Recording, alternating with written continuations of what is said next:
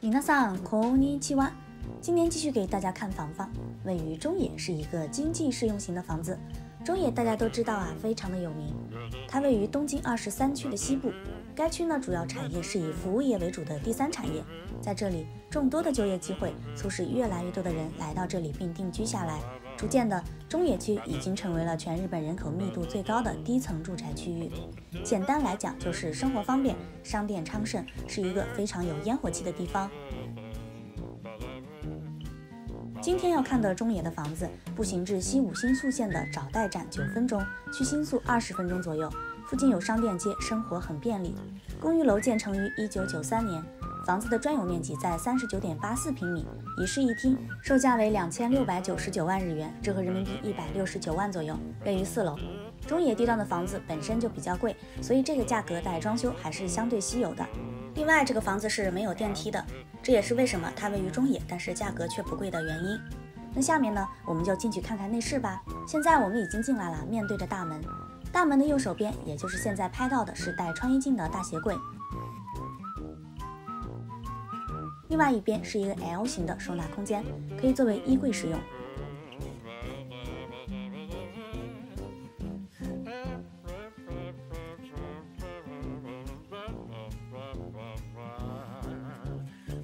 再往里走，右边是卫生间，马桶比较大，全自动的，所以看起来可活动区域比较小。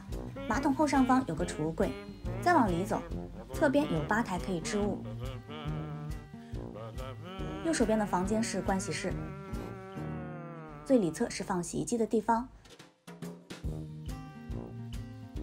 顶部有通风装置和报警器。洗面镜前有灯光开关和插座，镜子内部可以置物，给手机、刮胡刀、充电、使用吹风机等都非常的方便。水龙头可以抽出，底下是柜子。浴室的外墙边安装着多功能控制板，里面是一个小浴室，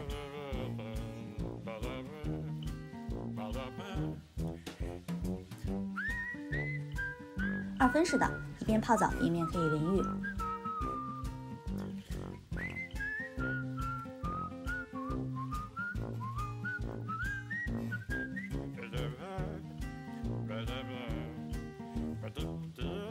我们顺着走廊再往里走，就到了正厅的部分了。左侧是一个和客厅打通的厨房间，橱柜和使用设备都是全新的，水龙头可以抽出，有净水切换功能。这个厨房带洗碗机，上方是三口嘎斯炉，底下是烤箱。这边还有高温炒菜的选择，方便做中国菜的时候使用。上方是一个极简的吸油烟机，没有多余的边角，非常的简洁。背面的插座可以放冰箱，另一面就是客厅了。里面凸出来的一块可以放置个写字台，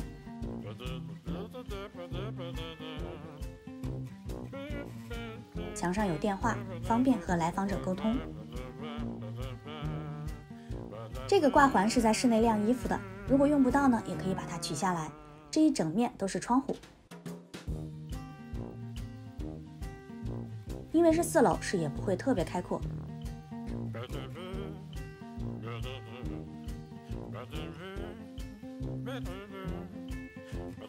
这个就是卧室了，卧室带一个推拉门，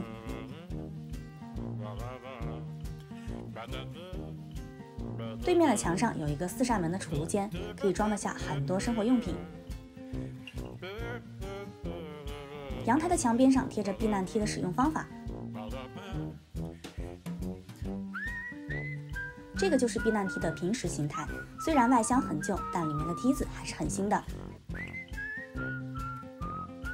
东京近几天黑的比较早了，夕阳还是很美。这个网罩是防鸟的，这个屋子是肉眼可以看到闪光的奇空塔的，但是拍摄就有点看不太清了。